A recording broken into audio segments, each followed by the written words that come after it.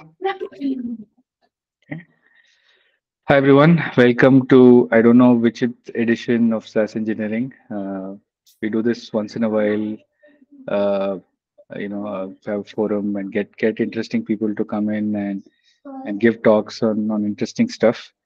Uh, today we have Anirudh, um, who's uh, who heads engineering at SpotDraft and he's a self-taught techie. He's been building software startups for uh, about 11 years. He's worked in backend, front end, and even Android. Um, in recent years, he's been doing more front end development, and he has uh, recently moved to the dark side, uh, to the you know to the you know management aspect. So yeah, you know, and he's going to talk about some very interesting things that they've done recently on moving to a monorepo. Anirudh, please uh, take it away. Uh, just one house housekeeping item. Uh, if you have questions, just please uh, just type them into the chat, and at you know at appropriate times, Anirudh will just stop and maybe answer those uh, questions at his convenience. Take it away, Anirudh. All right. Thanks for the intro, sir. Uh, okay, I think we already have the first question, but it's probably for you. All right. Meanwhile, I'll just share my screen. Cool. I hope everyone can uh, see the presentation. Yeah, can see it. Cool. All right. Yeah, so uh, what I'm going to talk about today is uh, how we essentially ended up migrating our Angular workspace to a monorepo. So it is to a degree maybe a little heavy on the front end, not front end, maybe like, like a little heavy on the TypeScript side of things. But I'm hoping, you know, like uh, what you can take away from is is around organizing code. Uh, you know, when would you probably end up having to think about a problem like this?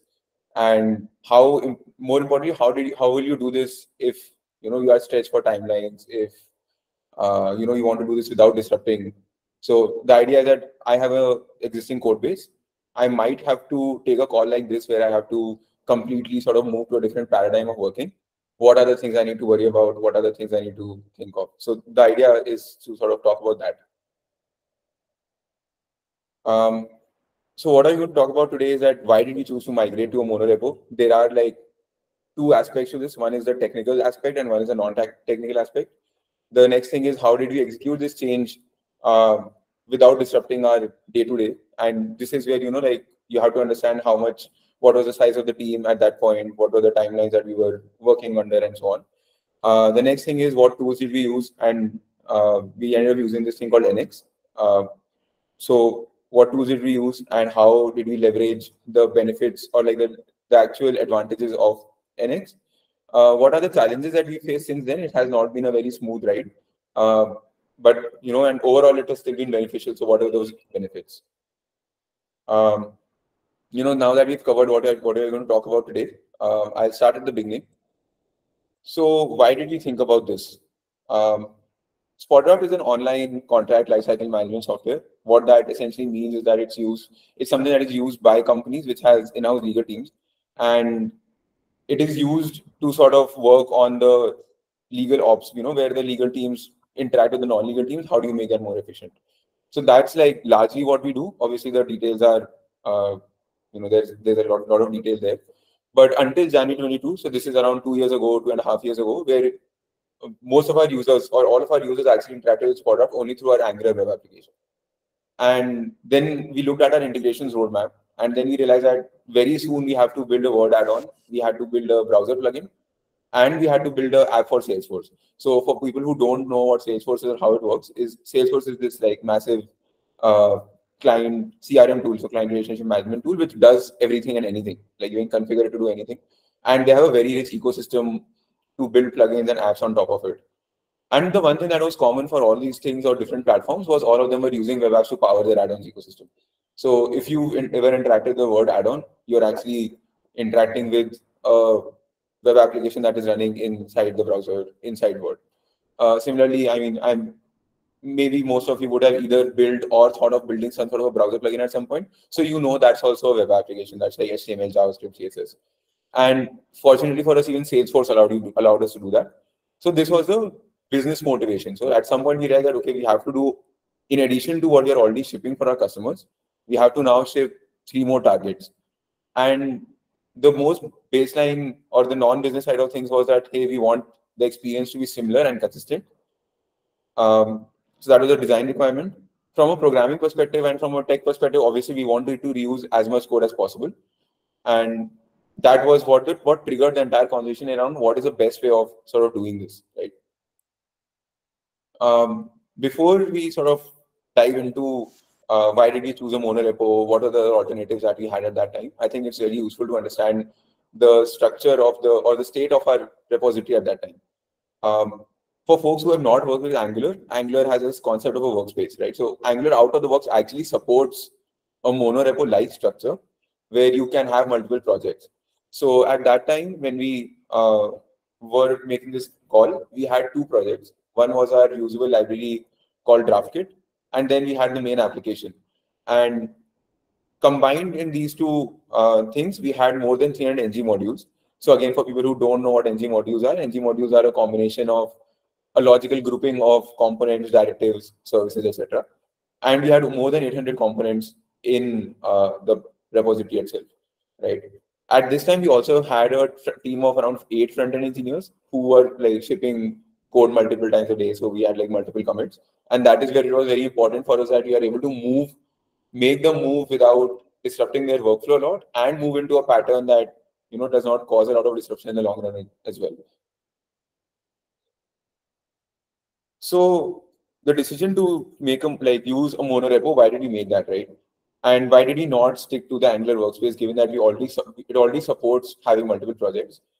Um, the JavaScript team or the front end team at that point already supported uh, not only the front end app, but we also were maintaining a Node.js microservice, which is very critical to this day to um, you know like some processes in the application. So on the from a long term perspective, we knew that we would want to ideally merge that also into our monorepo because we are already sharing a lot of uh, data definitions, schema, etc. But we are just doing it manually right now.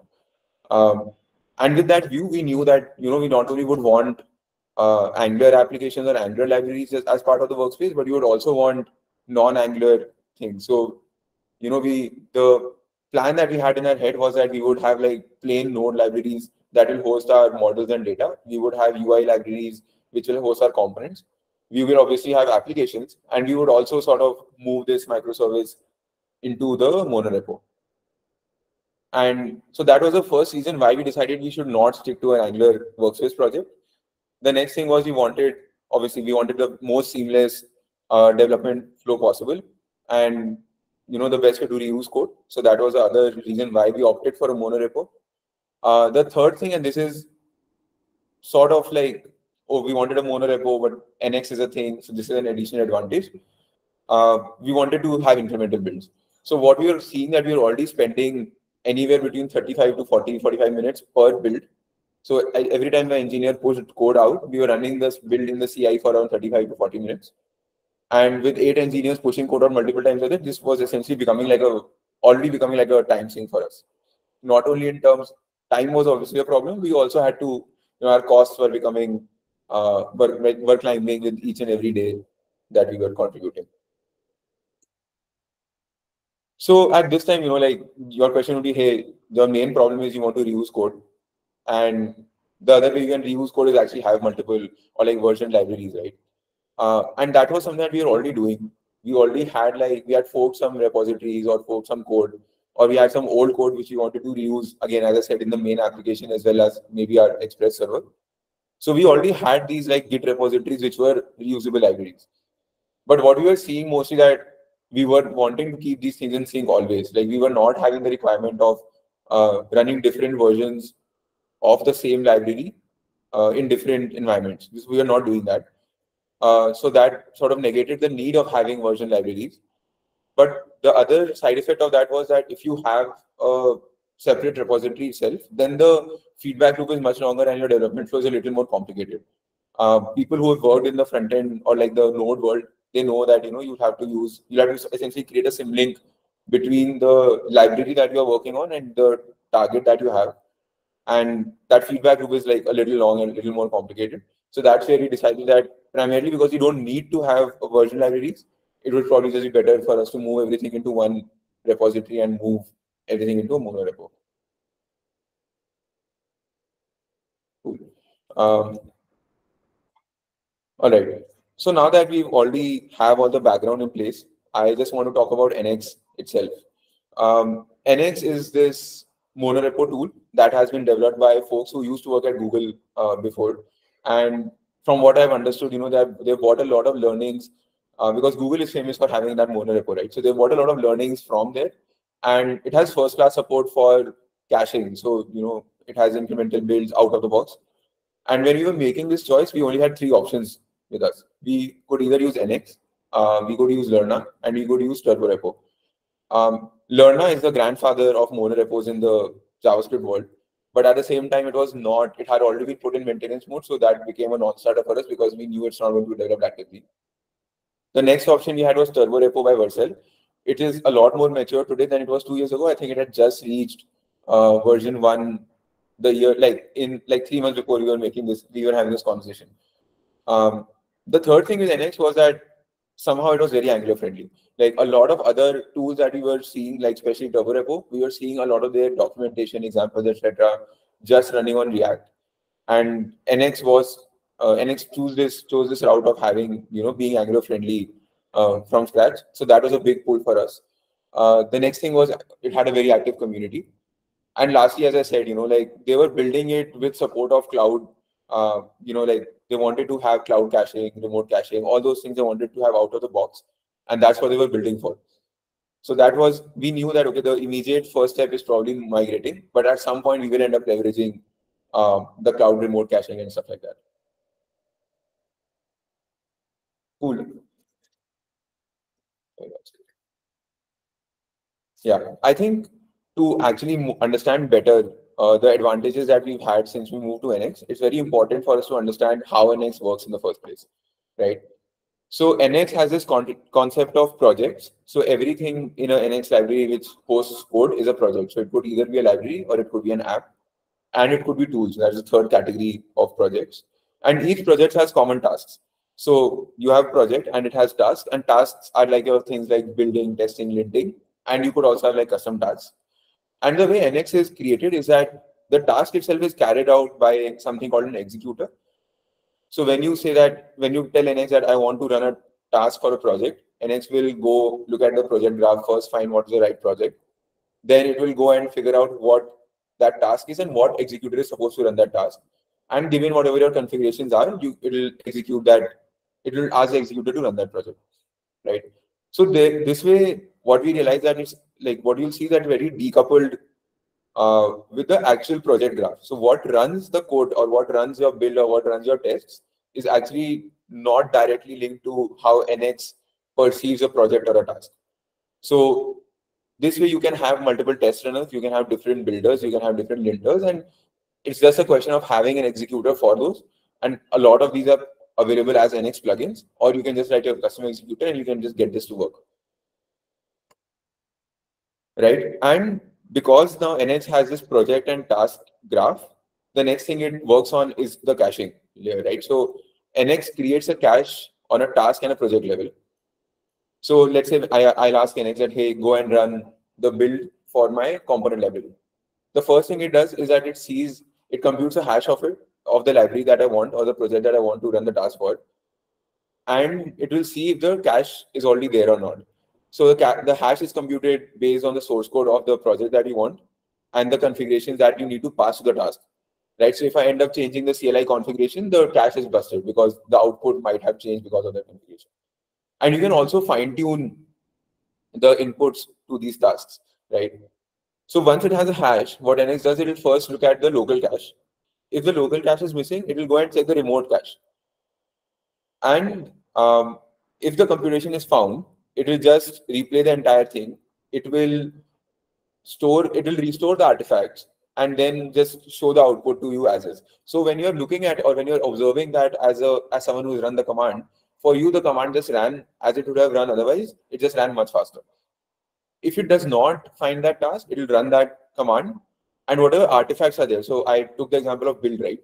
What it will do, it will take the output, whatever wherever it has, has been outputted. So it would be like your compiled JS files in this case, and it will store them as an artifact of the cache task so that the next time when the command is in, it can restore it.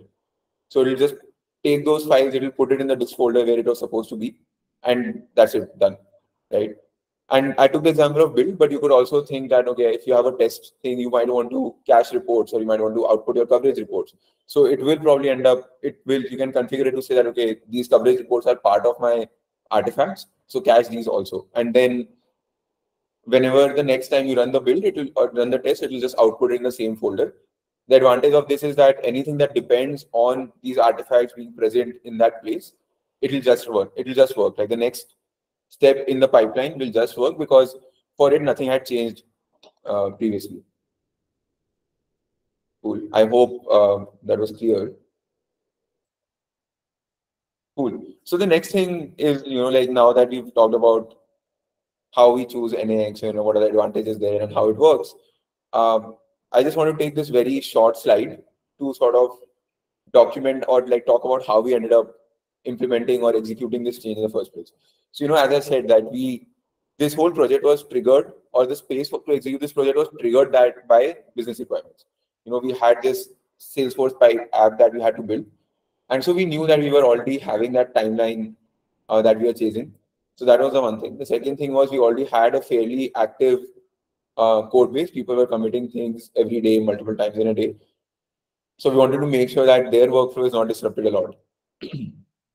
so we had to devise a way where you know we can implement this change, and the next day when people log back in uh, with a very repeatable script, they can sort of get onboarded to this new thing and start working as fast as possible. So what we did here was that we essentially did a dry run, right? And at this time we were using Angular 9 and we were using the Angular workspace with two projects.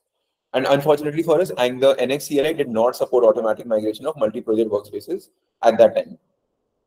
Um, so what we what we did was that we decided that okay, first let's replay the entire migration on a fresh workspace, uh, document all the issues that we see, make sure that all our builds and all are running, and then we'll essentially ask everyone to stop working at a point on a Friday evening, run that entire thing over the weekend, and come Monday, everyone should be able to go back to work as if, you know, like just install the latest stuff and just get back to work. Um, one call that we took over here was that, as I said, NX is very was very Angular friendly when we were doing this thing, right? So NX actually supported taking our existing Angular workspace structure and just bolting on NX on top of it.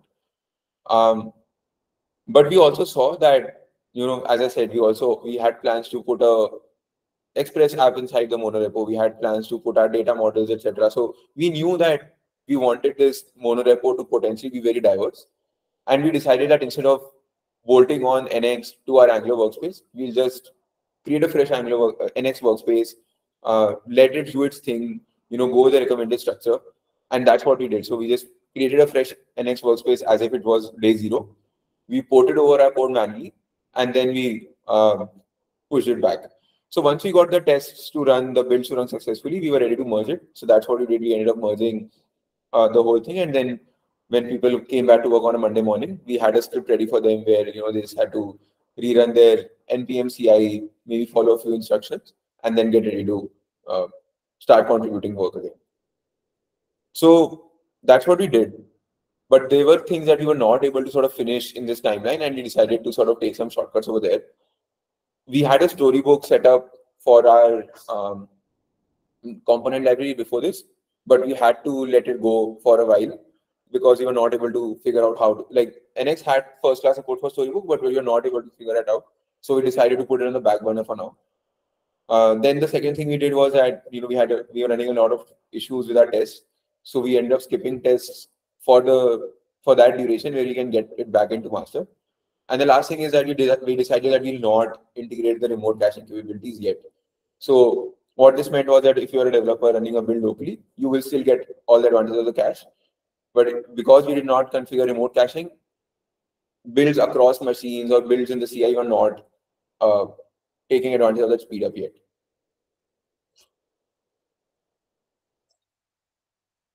So after this, you know, uh, once we got into this, we got the next thing to work people started contributing code again and we started building the app that we had to build, which was for Salesforce.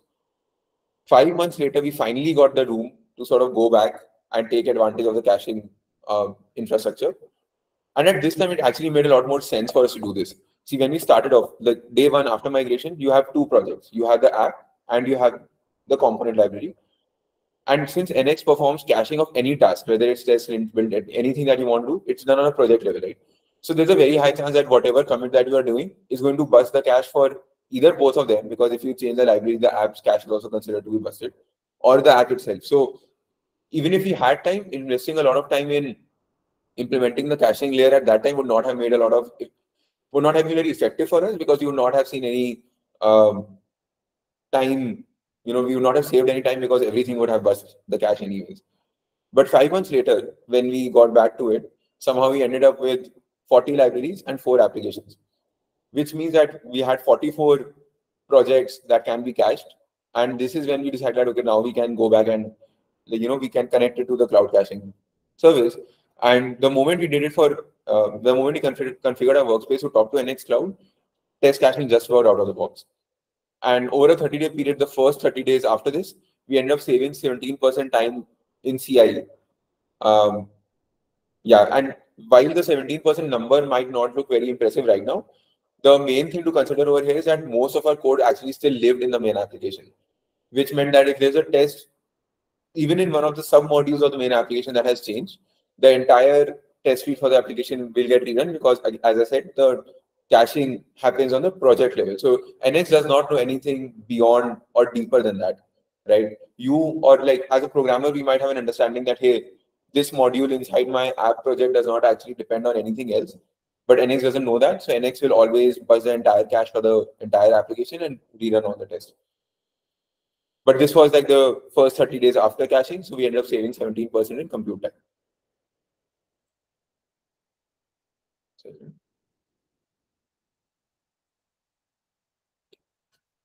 So as I said, you know, like the remote caching for tests worked out of the box remote caching for builds so that we can save time.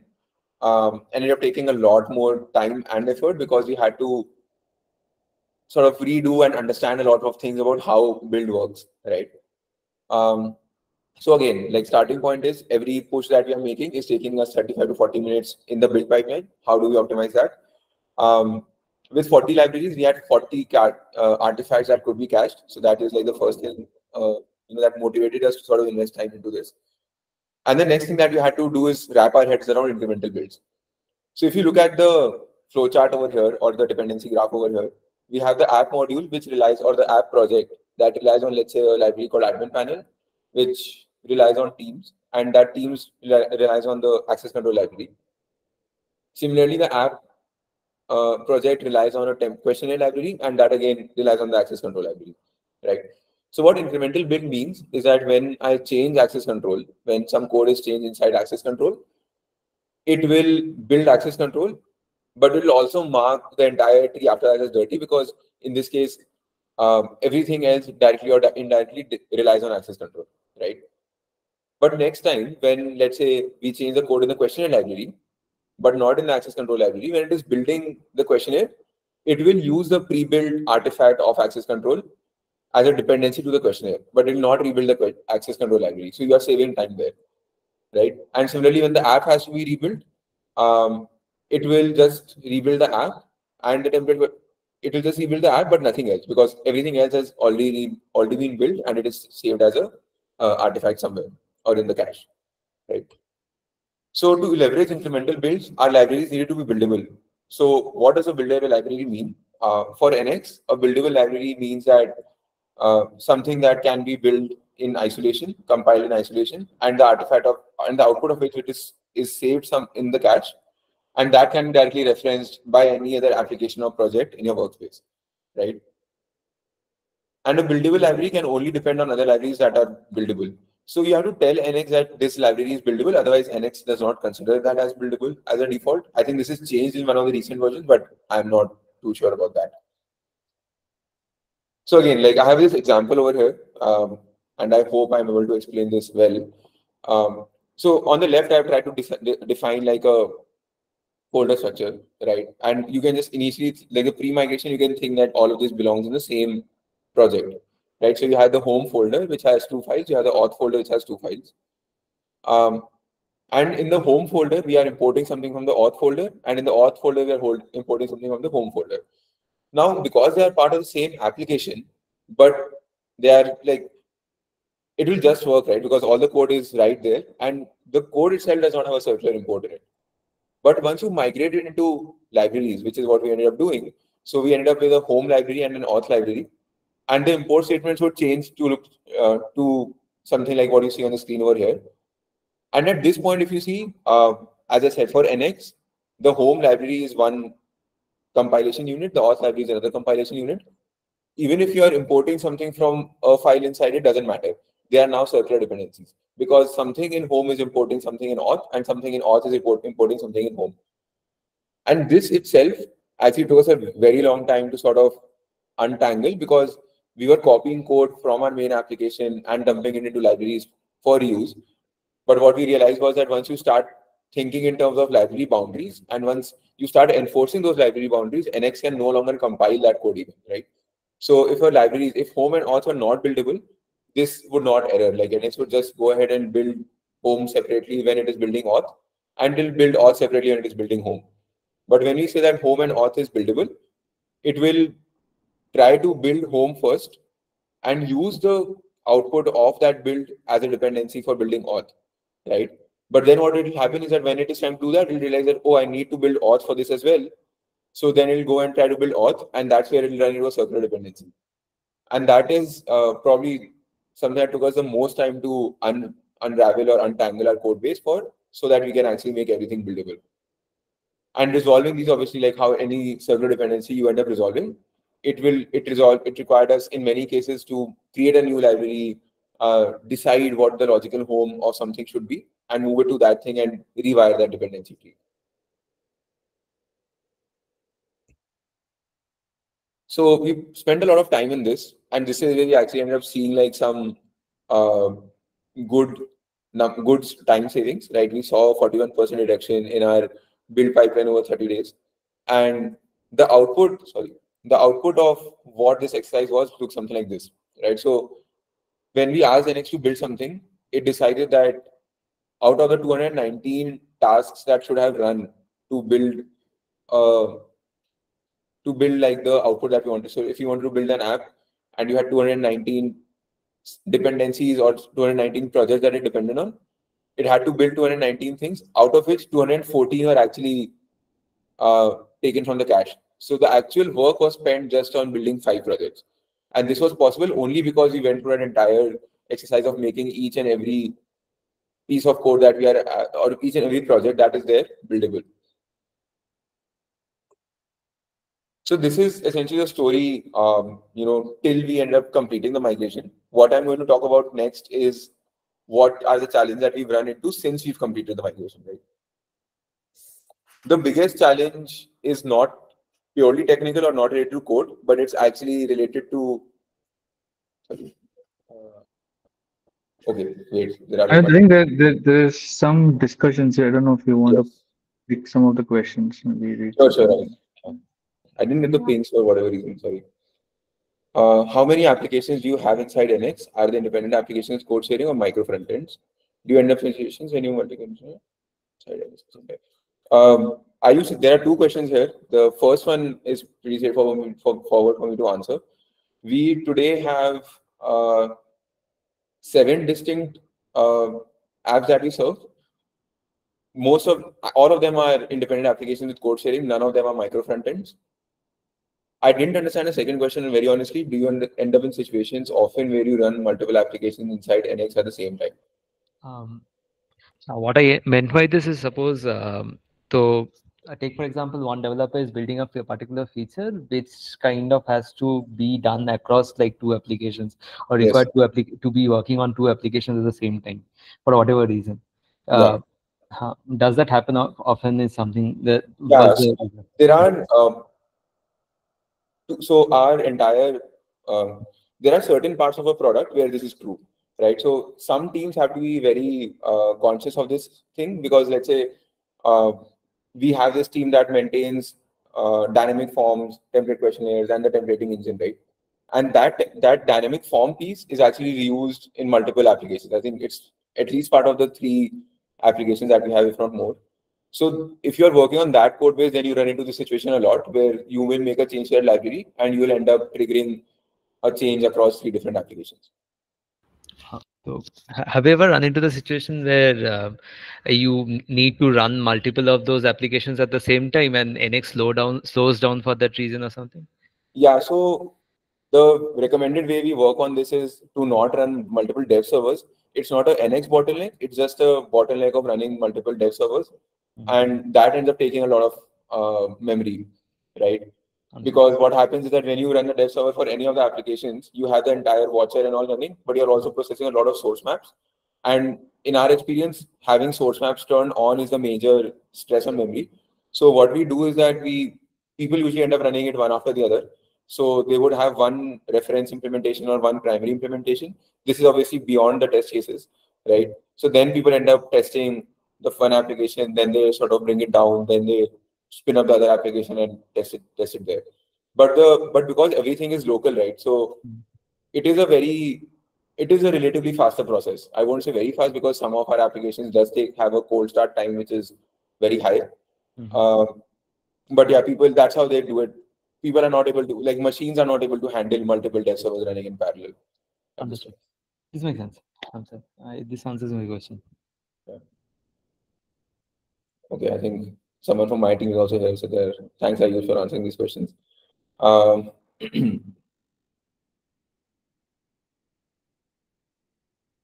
what volume or percentage of code do you end up putting inside libs? Uh, I think as Ayush answered that question, anything new that is there, we end up migrating. We are also running this very slow burn, long running project where we've done an audit of our legacy code base and slowly, you know, whoever is on call, whoever is uh, has any downtime, they end up sort of moving pieces out of the main applications into the into libraries. Got it. When switching between different Git branches, yeah, this is something that has never happened with me also. Ravi. Do you ever create nested components inside a feature UI or any kind of libraries? Or are they unit libraries in all cases? Yeah, so we have, uh, as Ayush said, uh, thanks for the spoiler, I Ayush, but yeah, this is I would have talked about in the coming slide. Uh, you know, how we have structured our libraries to have like maximum reuse wherever possible. Yeah, cool. Uh, so yeah, I think the first question that we have to answer, and this is a question that, you know, we've tried to answer multiple times, and hopefully now we've settled on a definition that works for us uh, what's in a library anyways, right? So I think this is something that all of us in different capacities would have run into at multiple points for sure. Because when you are deciding to create an abstraction, so that's the most, just think of it like, you know, hey, I have this function that was being used in, that is copied in five different places. I want to create a good abstraction for it. Defining that and how much effort that takes, if you extrapolate that, uh, that is a challenge that comes with defining uh, library structures. So I think that is the biggest problem that we've run into, or the biggest challenge that we've run into, where you had to build a lot of consensus around deciding the scope of a challenge. You know, like when is your library too narrow? When is your library becoming extremely bloated? Um, you know, there's a, there are school of thoughts out there which say that hey, just have the smallest library possible, and maybe it could mean that you're creating one library per component or one library for one module or something like that. But with that, the problem is that dependency tree can get messy very fast that's what we realized. Um, so what we did was that we uh, we come to a structure and we rely on spec or like high level design document reviews to sort of uh, come to consensus on new libraries, and we rely on code reviews to fight bloat there. Like hey, you know, like if someone adds something new as a component or, or a set of functionality to an existing library, we sort of encourage people to ask the question that do you really think it belongs here? Why not spin it off into a new library, etc the reason why it's very important to get this right is that if you if you don't put a lot of thought into this then you will end up with a very messy dependency graph. And you might end up in places where you know um, you end up with circular dependencies. And that was a reality i would say for like maybe a good two three months after we migrated to the structure where people often ended up with code that uh, led to circular dependencies. So the structure that we've come to now uh, is, you know, we've split up the different layers. This is something that we are uh, inspired by clean architecture in terms of how layers are defined. But whenever we are creating something new, we end up sort of following this pattern where we have like feature hyphen API, feature hyphen data, feature hyphen core, feature hyphen UI, and UI itself could be like different boundaries. So, and these are not only different libraries, these are also different kind of libraries. So mostly our data libraries are actually not Angular libraries, they are plain Node.js libraries.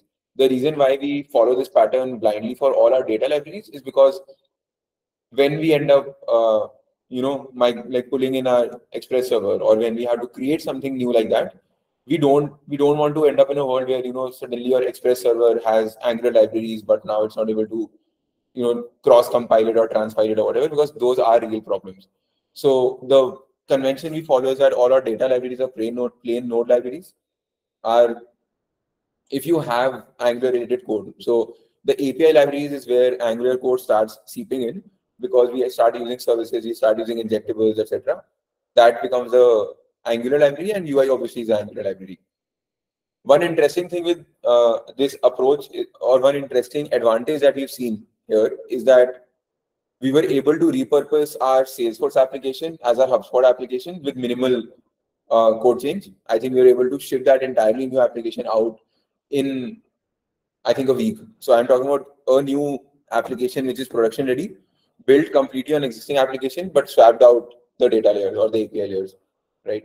The other advantage we saw is that we, in all our Angular code base, there is one small React component that lives because we had to implement some certain functionality a few years ago and we did not find anything good in the Angular ecosystem for it. So we end up pulling in a React component.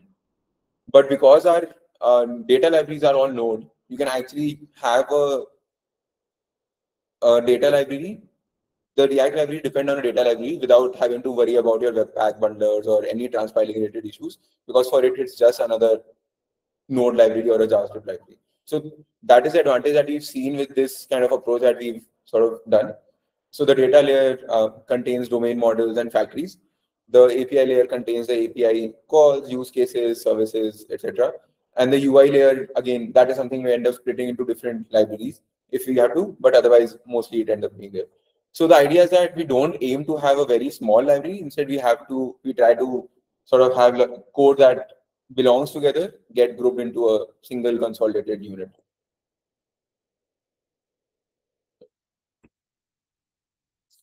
Cool. The next thing, and I think this is where it's going to get a little more technical and hairy, is understanding how TS configs work. So any um, the structure, the sort of the chart on the left, it defines the, the relationship or the different kind of TS config files that you'll see in any NX monorepo. So the way it works is that your entire monorepo will have, or your entire repository has one TS config base file. Um, this contains all your defaults, all your uh, base TypeScript configurations, right? But more importantly, it con contains a TS path mapping. So for folks who do not understand, let me just pull up that. Right.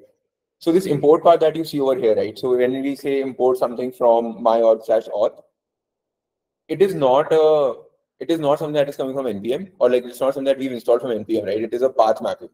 So in the ts config base file, there's a config which says that when you find this import path, go and look at libs slash home, sorry, libs slash auth slash index and that's how you disambiguate your um, imports. So NX essentially has these barrel imports or barrel exports. So every library that you create, you have, have one entry point for it.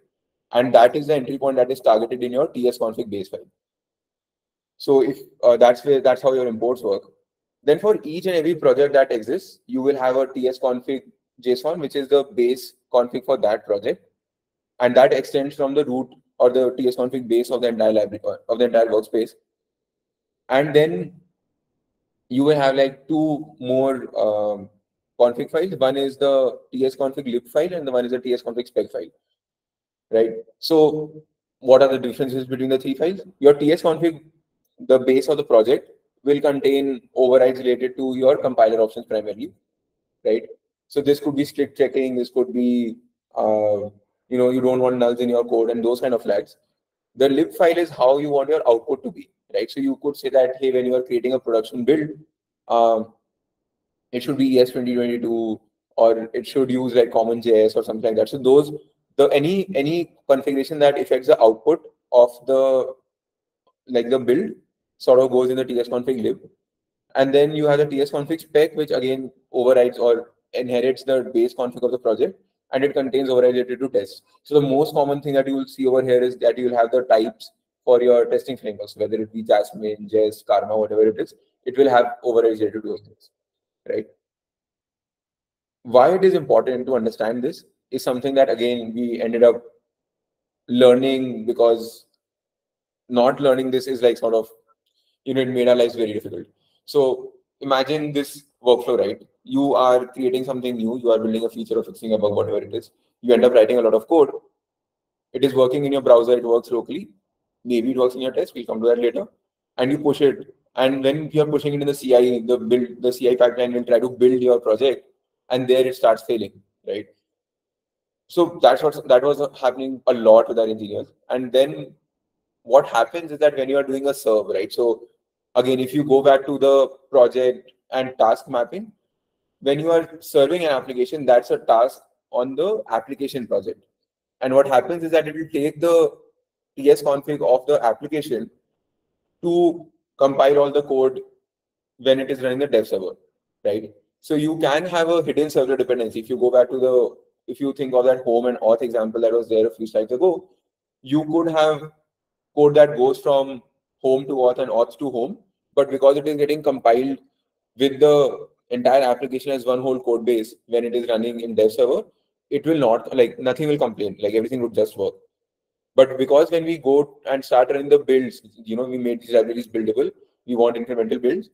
It builds the individual libraries in isolation. So it'll go and try to build auth first. It will realize that it needs home. It will try to build home. It will realize it needs auth, and it will fail because it's circular dependency.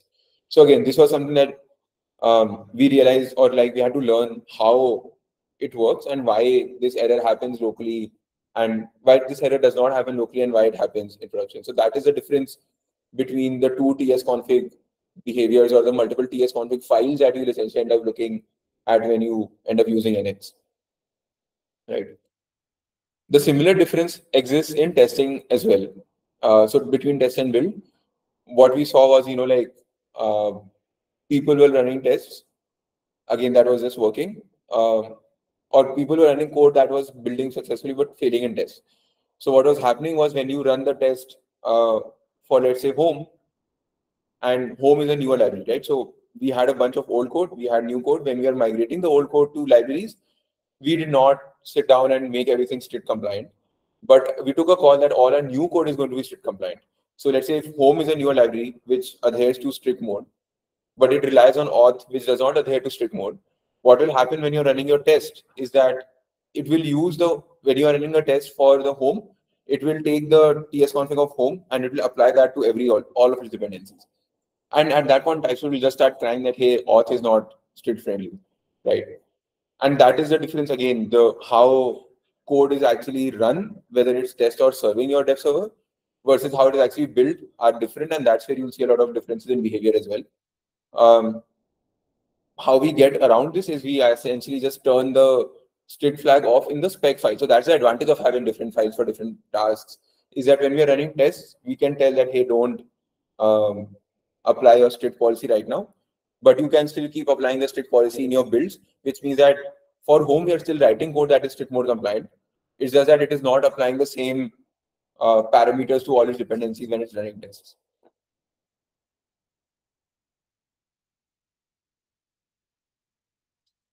Cool. No more questions. Um, yeah, so you know, we did this entire exercise uh, over the last year and a half since we stabilized it. We ran into challenges as well. Was all of it all of it worth it? I think it definitely was. Today we are shipping around seven applications from a shared code base. Um, we have more than 200 libraries. We, because of this, we have also been forced to sort of have a very structured approach to uh, how we write our code, right? And here, like I just have a screenshot from one of our engineers who, uh, you know, spoke about how they were able to reuse a lot of existing code and ship something out in 30 minutes that would have otherwise taken a few days of effort. So I feel like developer productivity definitely has been a major uh, boost over here. And if you look at the, actually, yeah, here it is. I think these are uh, relatively newer numbers. Today in CI, we had around 60% of the hit rate for caches, right? And over the last 30 days, we end up saving around four days of compute time. So again, we are saving a lot of time and money at this point. And one point to note over here is a lot of our code still lives in that main application that we've been trying to break up, right? So this number will ideally just improve. So if you are able to actually devote a lot of time to uh, breaking up our main application, we should expect the cache hit rate to go up. We should expect to save more time because we will have a lot more projects that NX can cache and optimize. Um, the next thing that we've done, because now we have libraries, uh, we are able to manage code code reviews better because what we ended up doing was we ended up configuring all our code owners. Um, if you guys use GitHub for PRs, uh, code owners essentially allows you to say that when this path changes or when something on this matching this regex changes, ask this team to go and look at the code. So it automatically up, uh, enforces code review. So we have very clear ownership based on libraries that this library is owned by these pods and this library is owned by this other pod and so on and so forth. So uh, code reviews are very uh, streamlined and straightforward. The next big advantage that we saw, uh, which helped us optimize a lot of these things even further, was something called NX affected.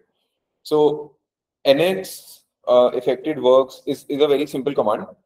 You can think of it like you can essentially go and ask NX that, hey, given these com two commits, find everything that has been changed between these two commits, right? And once you have that, you can actually ask NX to run tasks on these projects itself. So let's say if I take the example that I think Ayush asked that question, right, where do you have projects which um, do you have situations where someone changed one thing and that end up changing a lot of other applications? So what we have done is that we have an affected based build pipeline or a test pipeline where um, if I change, let's say that question library that I spoke about, right? It will automatically, we will be able to get an output that because of this PR, these are the different applications that will change. For our master builds, it automatically also rebuilds only those applications, right? And it will only run the tests on those applications and so on and so forth. So you get the visibility also that, hey, over, let's say when you are promoting a release branch to a, uh, to production, you'll also know what are the different apps that need to be deployed because NX will essentially tell us that since your last release, these are the things that have changed. So these are the applications that need to be uh, need to be deployed.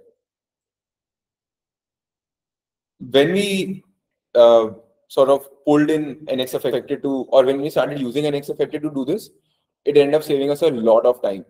PRs that did not change a lot of things ended up landing a lot faster. So let's say you just introduce a new library. Um, as a convention, we just say that, okay, when you're introducing a new library, make it a separate PR. Don't overload that PR. Um, and because that library does not is not getting used anywhere at that point, that PR will get merged much faster than let's say again changing the questionnaire thing because in that case it'll end up rerunning tests for the questionnaire and everything else that depends on it. Right. So on the right you can see the output from our GitHub pipeline where we decided like we based on the output of NX affected, we decided that we do not need to build the Gmail plugin, we do not need to build the Outlook plugin, we do not need to build the review plugin. What we do need to build is the SFDC app and the Word app. Right. So that is how we have made our review or like the PRs or the CI pipeline a lot more efficient and smarter. Um, here is some numbers that I pulled out from when we actually ended up making this change. And the the minimum time it took to merge a PR before was around 35 minutes. The minimum time came down to around 13 minutes because that would be your no op PR, which just introduces, let's say, a new library or something. The median time also went down drastically. It went down from around 41 minutes before we had affected to 27 minutes after we had affected. So again, like this is where, you know, um, as we kept going deeper into the whole NX ecosystem, we realized what are the things that we can do. And NX affected was probably my most favorite thing that has come out of this entire thing because it helped us make this change and make our pipelines a lot more efficient and smarter. Cool. So what's next? What are we looking forward to? Um, the first thing is for us is in-house lint rules. um, if you guys use ESLint and you know you wanted to have custom lint rules, it sort of warrants that you have to create separate packages for it. NX has created in recent versions, they have come up with the concept of workspace rules, where we can sort of reuse everything that we have, uh, or like it, in the same monorepo, we can add like rules and it gets applied automatically to everything that exists. So we this is something that we really want to explore. We have a bunch of ideas that we want to create rules for and see if workspace rules are something that will make it easier to work with. Um, the next thing is more executors. Sorry, one second. The next thing is more executors, right? So as I explained what executors are earlier, so anything that you want a project to do, NX essentially offloads it to an executor. So one uh, way we ended up using this was we ended up using this to create the asset pipeline. So we have a icon library, which also exports like, which also sort of, um, so it has two things to it. It has a bunch of SVGs and it has obviously the components. And what we ended up doing was that we ended up writing executors to Sprite. So we did not want to ship all those SVGs different assets to our CDN. So we ended up creating a SVG sprite so that all the icons can load in one go. And we did it using executors. So now what happens is that only when you create a new icon or when you add a new icon to the icon pack, because executors also run with affected, right? So you can say that, okay, only sprite things that have changed. And then NX will be able to say that, okay, because of this executor, I do not need to rerun this entire thing. and not need to sprite everything. And this seamlessly fits in with that build pipeline. So if executors were not there, you would have to probably write some sort of a shell script or some other script which would probably say that, okay, before building the main application or before building any other library, go ahead and build the icon pack, right? But with executors, you are able to do that much more seamlessly because it becomes part of the dependency tree itself or the task graph itself, right? So that is one thing. The other thing that we are exploring executors for is some pre and post processing that we do today. Uh, for example, when we are building a main application, we want we read like a bunch of configuration from environment variables. And today we do that using shell script because that sort of predates the whole NX transition. But that is something that we want to move. So we do like a find and replace using sed, and that is something that we can potentially move to executors. So it becomes part of the code base. Uh, you know, it's something that a lot more people in our team will understand versus having to worry about shell scripts.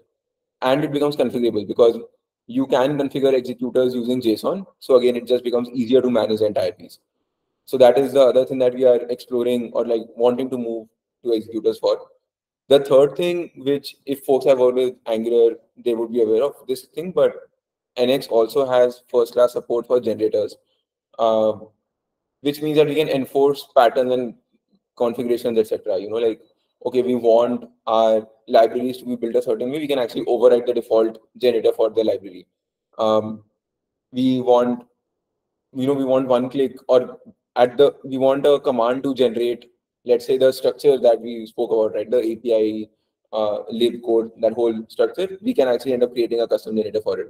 So again, this is something that we are trying to figure out where do our engineers spend a lot of time on and if that's something that we need to optimize. So NX has like um, all these things or all these features sort of built in. Cool. I think that's it from my side. We are pretty much on time. Um, are there any more questions that I can answer? Awesome. Yeah. Thanks. Thanks so much, Anirudh. Uh, the talk very, very interesting. Anybody has any questions? Just have a couple of minutes. No? All right, everybody's going to NX. yeah, thanks, thanks, thanks again, uh, Anirudh, uh, for, for the, taking the time, and thanks everyone for attending. Uh, yeah, hope to see you sometime in the next six months to two years. All right. Bye. Bye. Bye. Bye.